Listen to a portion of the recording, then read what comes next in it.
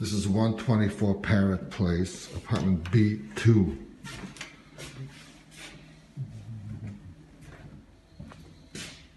One bedroom apartment, apartment B2.